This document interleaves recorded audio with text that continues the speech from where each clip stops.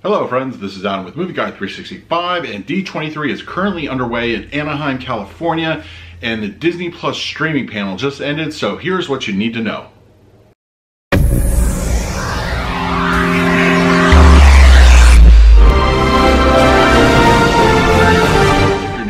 Please hit the like button, subscribe, hit that bell notification. I put out videos every single day. You can also find me over Twitter and Instagram at MovieGuy365, as well as the Disney Magic Hour podcast. I will go ahead and leave a link for that in the description.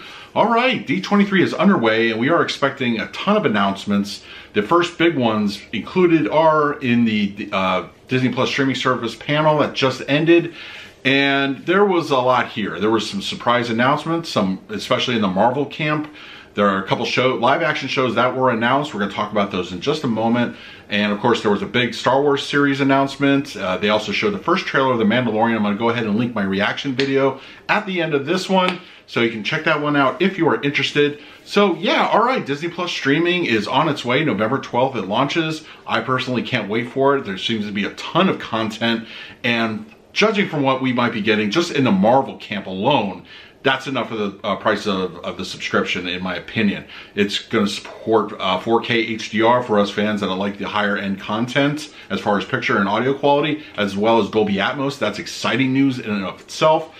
All right, so let's talk about what was featured. That now, they did uh, touch on a few things that were previously announced.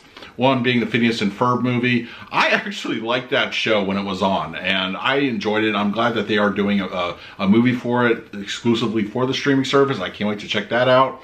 And also they're uh, talking about a sequel series to Lizzie McGuire that is also getting a sequel. Uh, is you know kind of a uh, you know 20 years later type of series or whatever it is.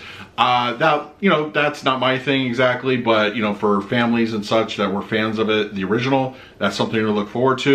Now jumping into the Marvel camp, they briefly showed uh, animated a little bit of a, a clip from an episode of What If featuring Peggy Carter as Captain Britain, and they teased uh, Marvel Zombies, which was really interesting. I didn't get a chance to take a look at that footage yet, but just I, I love that series, so how that's going to work on a Disney Plus show, I don't know, I guess we'll find out, but that's a very interesting premise.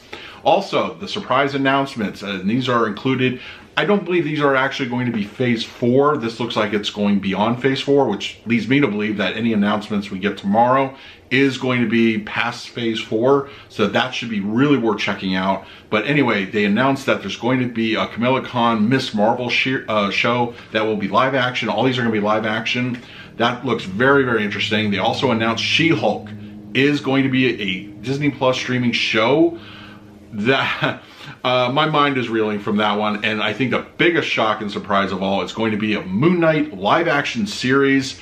Imagine the possibilities there, folks. Also, they announced that there's going to be, now this is exciting for me. So the Falcon and the Winter Soldier show, we already know about that. We already know, you know, it's coming and when it takes place, you know, per uh, uh, San Diego Comic-Con.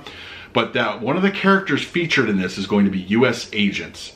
Oh man, I cannot wait for this. U.S. Agent was one of my favorite arcs in the Captain America series. I always loved the costume, especially when Steve Rogers was the captain for a while. Ah, if we get even a hint of that costume, that is going to be amazing. I cannot wait for that. Emily VanCamp is also going to be reprising her role as Agent 13 in this one, as Sharon Carter.